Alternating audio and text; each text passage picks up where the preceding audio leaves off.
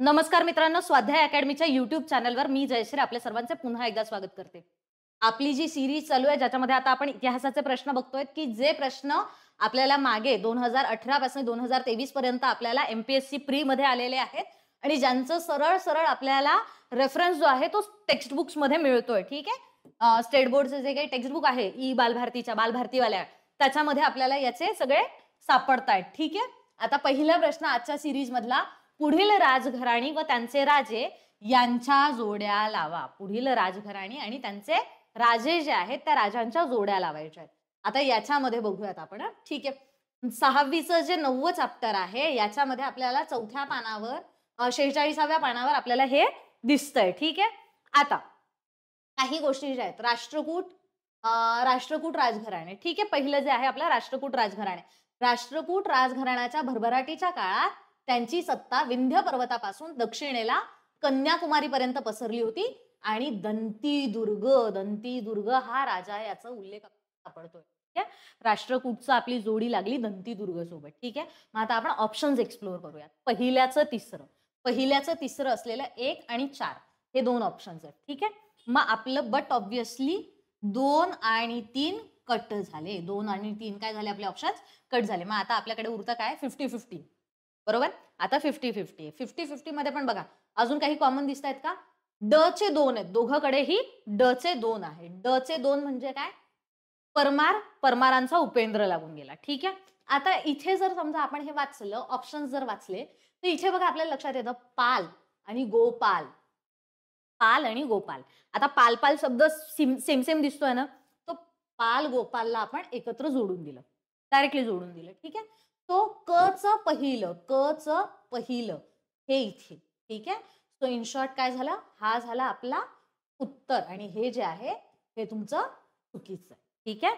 अशा पद्धतीने आपल्याला एक जरी सापडलं तरी बाकीच्या आपण कॉमन सेन्सच्या याच्याने सोडवू शकतोय अशा पद्धतीने हे उत्तर आपल्याला इथे सापडलंय ठीक आहे? पुढचा प्रश्न आपण बघूयात. खालीलपैकी कोणत्या विद्वान स्त्रिया ऋग्वेद काळाशी संबंधित होत्या ठीक आहे? आता ऋग्वेद काळाशी संबंधित असलेल्या कुठल्या स्त्रिया आहेत? विश्ववारा अपाला लोपामुद्रा घोषा ठीक आहे? आता हे जे आहे आपल्याला सहावीचं जे चौथं चॅप्टर आहे ना सहावीच्या चौथ्या चॅप्टरमध्ये आपल्याला वैदिक जे काही काळ आहे वैदिक काळ जो आहे तो वैदिक काळ पूर्णपणे दिलेला आहे ठीक आहे? वैदिक काळ पूर्णपणे एक्सप्लेन केलेला आहे. त्याच्यामध्ये आपल्याला काही स्त्रियांची नावं सापडतात. लोपामुद्रा गार्गी मैत्री अशा काही विद्वान स्त्रियांचे उल्लेख साहित्यात आढळतात. ठीक आहे? आता हे कुठल्या साहित्यामध्ये? वैदिक साहित्यामध्ये वैदिक साहित्यामध्ये. एकूण आपल्याकडे चार वेद आहेत. ठीक आहे? तर त्या चार वेदामध्ये आपल्याला इथे यांनी ऋग्वेद विचारलेला आहे. ऋग्वेद काळाशी संबंधित. ठीक आहे? वैदिक काळातलाच हा ऋग्वेद काळ झाला. ठीक आहे? तर आता हे जर आपण बघितलं आपल्याला लोपामुद्राचं इथे नाव दिसतंय. बरोबर? लोपामुद्राचं नाव आपल्याला सापडलं. तर मग आता क असलेले ऑप्शन्स कुठले कुठले याच्यामध्ये क नाहीये. तो हे ऑप्शन गेलं. ठीक आहे? आता या तिघांमध्येही क ऑप्शन दिसतंय. वरीलपैकी सर्व म्हणजे क ऑप्शन ऑटोमॅटिकली येऊन जाणार आहे. तर याच्यामध्ये हे जे आहे वरीलपैकी सर्व हे उत्तर याचं बरोबर आहे. ठीक आहे? इनडायरेक्टली आपल्याला सापडतात. ठीक आहे? तो अशा पद्धतीने डायरेक्ट इनडायरेक्ट जे काही प्रश्न आहेत ते सगळेच्या सगळे प्रश्न आपण आपल्या बॅच मध्ये घेण्याचा प्रयत्न केलेला आहे. ठीक आहे? जवळपास कुठलाही प्रश्न सुटणार नाही याचा प्रयत्न केलेला आहे. जेणेकरून जास्तीत जास्त विद्यार्थ्यांना याचा फायदा घेता येईल. जास्तीत जास्त विद्यार्थी एक्झाम्स क्रॅक करू शकतील. जास्तीत जास्त विद्यार्थ्यांच्या हातात रिझल्ट येतील. ठीक आहे? आता ही जी बॅच आहे मी तुम्हाला मागच्या लेक्चरमध्ये सुद्धा सांगितलं होतं की आपल्या बॅचची मूळ किंमत आहे तीन हजार नऊशे नव्याण्णव रुपये. पण पंधरा ऑगस्टचा खूप मोठा डिस्काउंट आपण देत आहोत.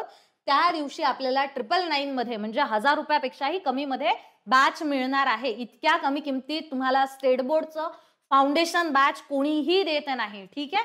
तो स्टेट बोर्ड संपूर्ण फाउंडेशन जे आहे ते आपल्याला फक्त आणि फक्त ट्रिपल नाईन मध्ये मिळणार आहे. तर त्या बॅच बद्दल जर तुम्हाला जास्तीत जास्त माहिती हवी असेल तर तुम्ही नंबरवर संपर्क करा. आणि कुपन कोड लक्षात ठेवा कुपन कोड आहे आपला fifteen A U G fifteen capital A capital U capital G कुठेही स्पेस नाही काही नाही. असं जर कुपन तुम्ही टाकलं तर तुम्हाला ट्रिपल नाईन मध्ये ही बॅच मिळणार आहे. ठीक आहे? पुढचा प्रश्न आपण बघूयात. सुरत येथे मानव धर्म सभा आणि मुंबईत परमहंस मंडळी कोणी स्थापन केली? आता ह्या प्रश्नामध्येच प्रश्न आहेत दोन प्रश्न आहेत. ठीक आहे? मानव धर्म सभा आणि परमहंस सभा ठीक आहे? कुठे स्थापन झाली? तो मानव धर्म सभा कुठे स्थापन झाली? सुरतमध्ये स्थापन झाली. परमहंस मंडळी कुठे स्थापन झाली? मुंबईमध्ये स्थापन झाली. ठीक आहे? आता कोणी केली असा प्रश्न? आहे ठीक आहे? आठवीचं चौथं चॅप्टर जर आपण बघितलं तर आठवीच्या चौथ्या चॅप्टरमध्ये एकविसाव्या पानावर आपल्याला प्रार्थना समाज मिळतोय. त्या प्रार्थना समाजमध्ये जर आपण व्यवस्थित शांततेत वाचलं तर दादोबा पांडुरंग तरखडकर यांनी इसवी सन अठराशे अठ्ठेचाळीसमध्ये मुंबई येथे परमहंस सभेची स्थापना केली ठीक आहे? डायरेक्टली उत्तर आपल्याला दिसतंय. डायरेक्ट उत्तर दिसतंय. आता मुंबईमध्ये परमहंस मंडळ मंडळीची स्थापना कोणी केली आहे? दादोबा पांडुरंग तरखडकर यांनी केली आहे. तो याचा अर्थ काय झालं? हे उत्तर आपलं येऊन गेलं. आता त्यांनीच सुरतमध्ये मानव धर्म सभा स्थापन केली आहे. ठीक आहे? सो इन शॉर्ट ह्या एका प्रश्नावरून आपण तीन ते चार प्रश्न वेगळे तयार केले. तीन ते चार प्रश्न तयार करताना आपण याच्यामध्ये जर अजून बघितलं तर ती कधी स्थापन झाली कुठे स्थापन झाली ती कधी विसर्जित झाली? मग ती विसर्जित झाल्यानंतर त्याच्या पासून काय तयार झालं? तर ती जी होती परमहंस सभा जी होती ती परमहंस सभा विसर्जित झाल्यानंतर त्याच्यापासून प्रार्थना सभा समाज जो होता म्हणजे याचेच काही जे सभासद होते त्या सभासदांनी मिळून प्रार्थना समाजाची स्थापना केली. तो अशा पद्धतीने आपल्याला हे सगळेच्या सगळे प्रश्न जे आहेत ते प्रश्न आपण पुस्तकातनं डायरेक्टली घेण्याचा प्रयत्न केलेला आहे. डायरेक्टली विद्यार्थ्यांना ते एक्सप्लेन करण्याचा प्रयत्न केलेला आहे की जितके जास्तीत जास्त प्रश्न तुमचे सोडवता येऊ शकतात तेवढे जास्तीत जास्त प्रश्न आपण आपल्या स्टेट बोर्ड फाउंडेशनमध्ये घेतलेले आहे. ठीक आहे? पुढचा प्रश्न आपण बघूया. जोड्या लावा. खूप साऱ्या जोड्या लावा येतात इतिहासामध्ये. खूप साऱ्या जोड्या लावा येतात. ठीक आहे? महाजन पद आणि त्या महाजन पदांचे राजे जे आहेत ते राजे दिलेले आहेत. ठीक आहे? तो सहावीचं सहावं जे चॅप्टर आहेत ना त्या सहावीच्या सहाव्या चॅप्टरमध्ये आपल्याला असा एक चार्ट दिलेला आहे. त्या चार्टमध्ये जर आपण बघितलं तर आपल्याला या चार्टमध्ये कोसल वत्स अवंती आणि मगध असे चार राज्य दिलेले महाजन पद दिलेले. कोसल वत्स अवंती आणि मगध. आता इकडे जर आपण बघितलं तर आपल्याला कोसल मगध आणि वत्स हे तीन सापडत ठीक आहे? इथे काशी विचारलेलं आहे आणि इथे यांनी अवंती दिलेलं आहे. ठीक आहे? एवढं एक जर सोडलं काशी आणि अवंती ह्या दोन गोष्टी जर सोडून दिल्या तर बाकीचे तीन आपल्याला सरळ सरळ याच्यामध्ये दिसतात ठीक आहे? आता राजे कोण कोण होते ठीक आहे? राजे कोण कोण आहे? बिंबिसार अश्वसेन उदयन प्रसेनजित ठीक आहे? इकडे बघा. मगधचा जो बिंबिसाराच्या दरबारात होता ठीक आहे? बिंबिसाराने गौतम बुद्धांचे शिष्यत्व पत्कारले होते ठीक आहे? असे इथे आपल्याला दोन गोष्टी तीन तीन लाईन झाल्यात बघा. महागोविंद या वास्तुविशारदाने बिंबिसाराचा राजवाडा बांधला होता. असे तीन ठिकाणी आपल्याला बिंबिसाराचा हे दिसला मगधमध्ये. ठीक आहे?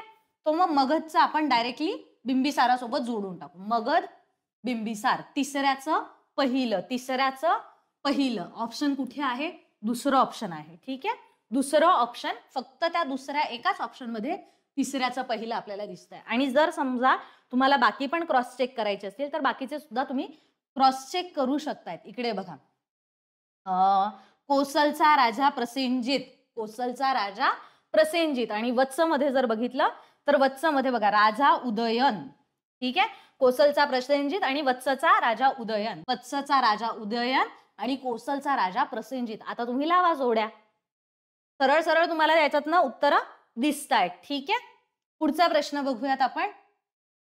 अठरा जुलै एकोणाशे सत्तेचाळीस रोजी ब्रिटिश पार्लियामेंटने कोणत्या कायद्याला मान्यता दिली? ठीक आहे. भारतीय स्वातंत्र्याचा कायदा अठरा अठरा जुलै एकोणावीसशे सत्तेचाळीस. बघा अठरा जुलै एकोणावीसशे सत्तेचाळीस अठरा जुलै एकोणावीसशे सत्तेचाळीस. रोजी इंग्लंडच्या पार्लमेंटने भारताच्या स्वातंत्र्याचा कायदा जो होता तो संमत केला. डायरेक्ट प्रश्न आहे डायरेक्ट उत्तर आहे. समोरासमोर आहे. तुम्हाला काहीही कुठेही बघायची गरज नाही आठवीचं बारावी बारावं जे चॅप्टर आहे त्याच्यातनं हा प्रश्न आहे. अठ्ठावन्न नंबरचा पान नंबरवर आहे मी मुद्दाम पान नंबर सुद्धा मेन्शन करते की जेणेकरून तुम्हाला कळायला हवं की हे हो आहेत. हे प्रश्न डायरेक्टली तिथनं घेतलेले आहेत. ठीक आहे?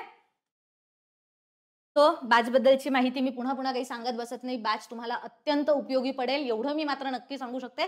कारण की तुमचा वेळ जो आहे तो वेळ वाचणार आहे. पुस्तकं तुम्ही तुमचे तुमचे वाचू शकताय त्याला मी नाही म्हणत नाहीये. पुस्तकं वाचायला काही माझी ना नाहीये. पण तो वेळ जो लागतो आपल्याला पुस्तकं वाचायला तो पुस्तकं वाचायला लागणारा वेळ जो आहे तो वेळ कमी केला जातो बॅचच्या माध्यमातून. आता जसं आपण बघितलं आता आपण जे काही प्रश्न बघितलेत इतिहासाचे बरेचसे प्रश्न आपल्याला इयत्ता आठवीतनं आलेले दिसत आहेत बरोबर? मग अशा वेळेला आपण काय केलेलं आहे म्हणजे ज्या वेळेला बॅच घेतलेली त्यावेळेलाच आपण काय केलेलं आहे की कुठून जास्तीत जास्त प्रश्न येत आहेत. मग जिथनं जास्त प्रश्न येत आहेत त्याच्यावर आपण जास्त भर दिलेली आहे. आणि जिथून कमी प्रश्न येत आहेत त्याच्यावर मग आपण थोडीशी भर कमी दिलेली आहे. ठीक आहे? बॅच नक्की विकत घ्या. जेणेकरून तुम्हाला जास्तीत जास्त फायदा होईल. चॅनलला सबस्क्राईब करा. अजून केलेलं नसेल तर लाईक करा आणि शेअर करा. थँक्यू